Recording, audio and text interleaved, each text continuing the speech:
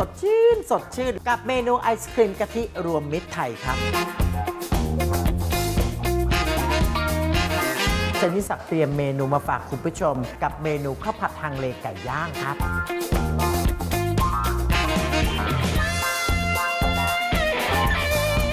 พบกับรายการ Cooking Guru และอาจารย์ยิ่งศักดิ์ได้ทุกวันอังคาร 16 นาฬิกา 30 นาทีทาง Workpoint ช่อง 23 นะครับ